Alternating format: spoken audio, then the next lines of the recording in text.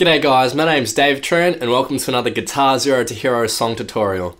In this lesson, I'll be teaching you Major Lazer's new single, Cold Water, featuring Justin Bieber. So in this lesson, I'm going to teach you two different ways of playing this song. The first way will be the studio version, and the second way will be an easier strummed version for more of the beginners out there. So apparently Ed Sheeran co-wrote this song, and unsurprisingly, it's an amazing track. Ed Sheeran cannot write a bad song. So anyway, let's get into it.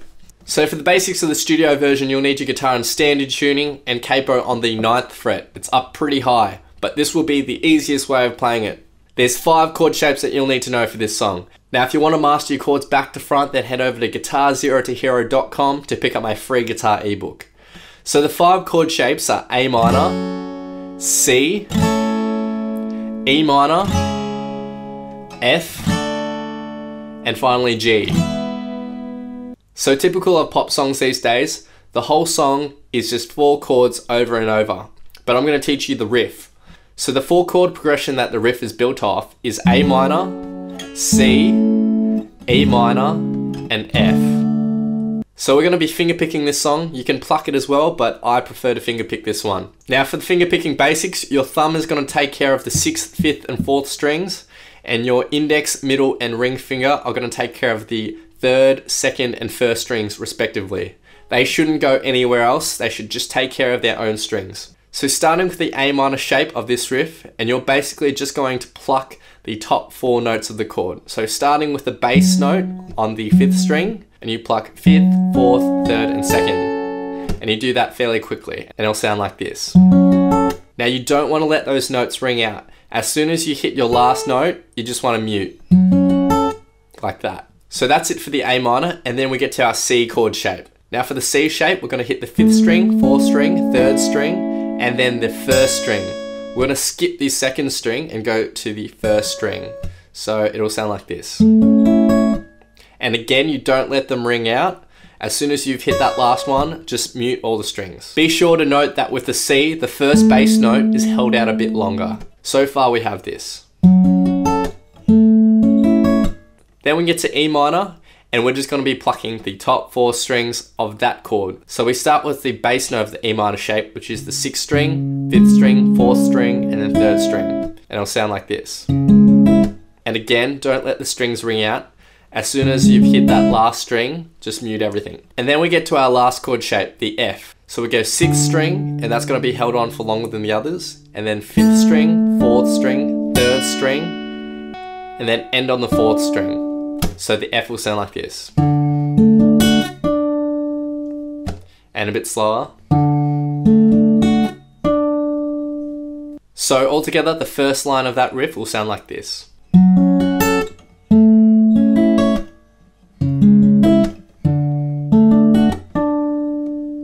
Now you play that line three times and then you play another line with a minor variation. Now everything is exactly the same, the only difference is the last note. So instead of going back to the fourth string on this last note, what we're going to do is lift our middle finger and lift the bar from that bar chord and pluck the open third string. So the F will sound like this in the last line. Now that's the basic bones of the riff.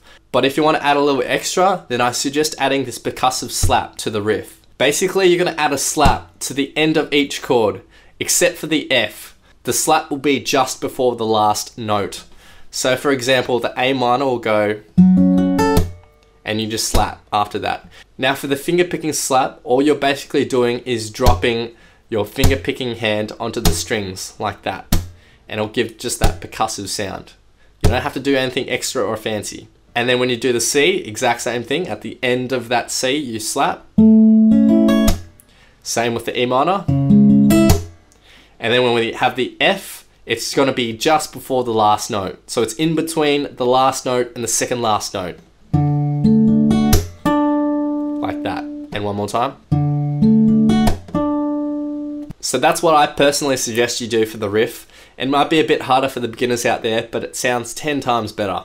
So now I'm going to play that at 75 and 100% speed with a close-up of my picking hand.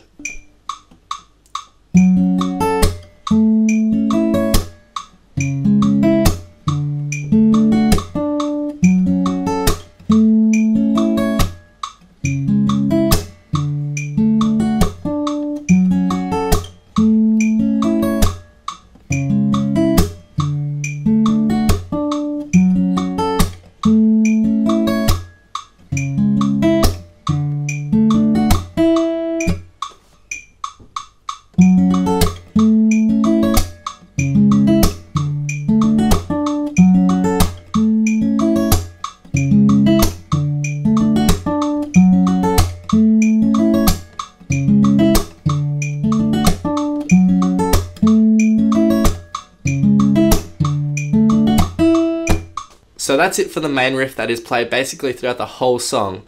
But for my version, I'm going to add a strumming pattern into the chorus to make it sound a bit bigger. Now we do have a very tiny pre-chorus however, which is very easy. It's just a G chord. And it's as simple as that. Now that's held out for just four beats, and then we get into the chorus. Now the chorus is going to be the same four chords. So A minor, C, E minor, and F. Now the strumming pattern that we're going to have here will be down, down, up, slap, down, down, down, up, slap, down, up. And a bit slower. Down, down, up, slap, down, down, down, up, slap, down, up. Now the slap is more or less a down strum. And I've had a few questions regarding this strumming slap. But basically, when I strum down, at the same time my palm is hitting all the strings. And by doing that, you only get a muted sound and nothing rings out. Like that. So the palm is coming down at the same time as you stroking the strings, and that's the slap. Now for each strumming pattern, there's going to be two chords. Now the point at which you change from the A minor to the C and the E minor to the F is going to be on the third down strum in that strumming pattern. So it'll sound like this. Down, down, up, slap, down, down, down, up, slap, down, up, down, down, up, slap, down, down, down, up, slap, down, up.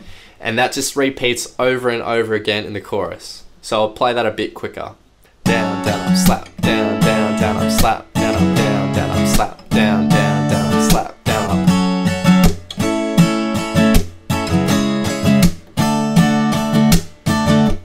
Now the last thing I'm going to teach you in the studio version is the synth riff that gets played in the chorus.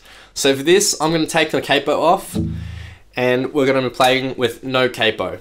Alright? So we're going to start with the 11th fret of the 3rd string with our ring finger. You're going to pluck that once and then go to the 9th fret of the 3rd string with your index finger. And then you're going to hammer back onto the 11th fret.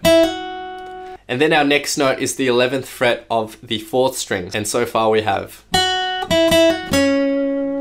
And then our next one starts with our middle finger on the 12th fret of the top string. And then you're going to get your ring finger and put that on the 12th fret of the 5th string and get that ready too. So we'll hit that 6th string on the 12th fret twice. And then we'll hit the 5th string on the 12th fret. And then with our index finger, we'll put that on the 11th fret of the 4th string and hit that. So that 4 note run will sound like this. And then the next bar will go down to the 9th fret of the 4th string and we'll hit that. And then mm. 11th fret with our ring finger. And then back to the 9th fret. And then we hit the 9th fret of the string above. So that 4 note run goes. You repeat that 4 note run twice and it'll sound like this. And altogether for the first line we have this.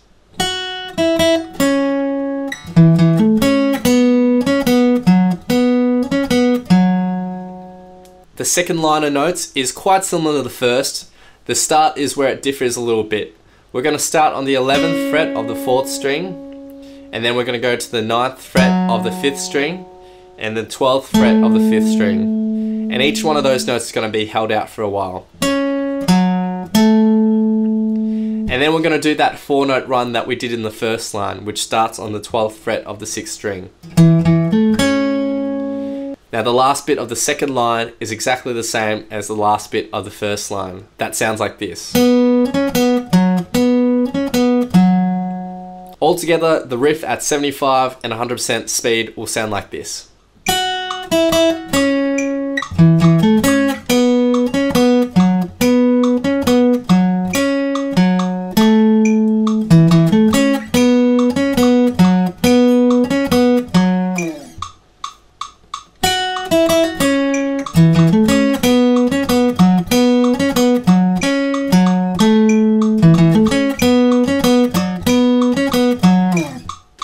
We're going to move on to the easy version for the beginners out there.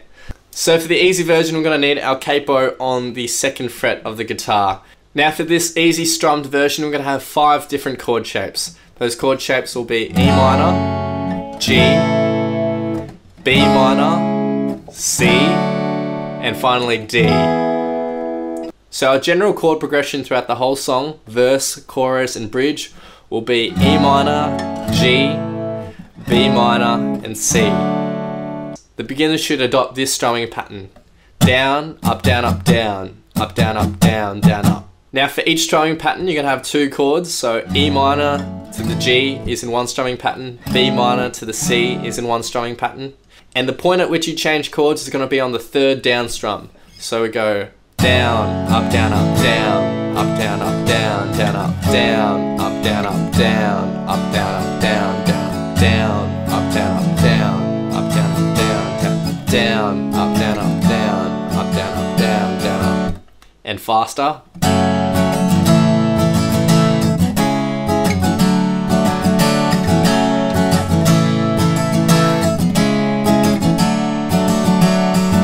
And the pre-chorus is simply just going to be the D chord, just strummed and held out. Now when we get to the chorus, my suggestion is to adopt this new strumming pattern that we used in the studio version. That sounds like this. Down, down, up, slap, down, down, down, up, slap, down, up. And the point at which you change chords is the third down strum again. So it sounds like this. Down, down, up, slap, down, down, down, up, slap, down, up, down, down, up, slap,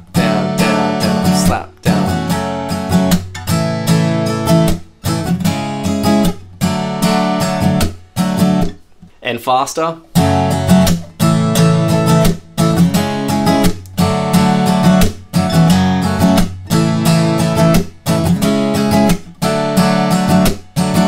Now I'm going to be playing all the main sections of the song. I'm going to have a vocal track on top for some context. So I encourage you guys to play this bit back as many times as you want, practice, and see how you go. Everybody gets high sometimes, you know.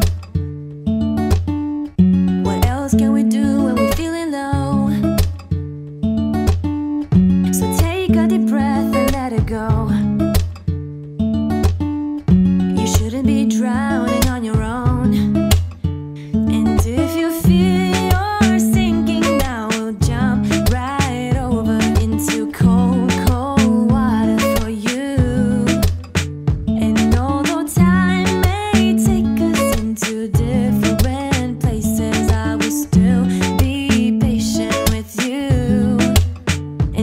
want you to know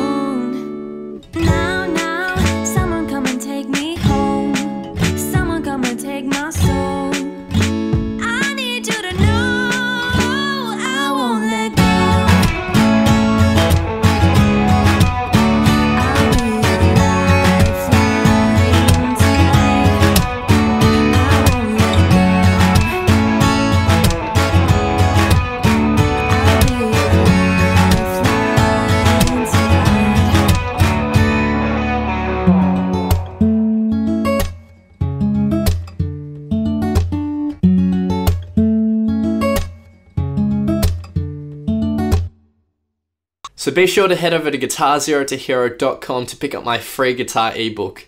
If you've enjoyed this lesson and you want to see more in the future, then it would mean so much if you hit that subscribe button, hit that like button, leave your thoughts, comments, and questions below, and I'll see you next time on Guitar Zero to Hero. Cheers.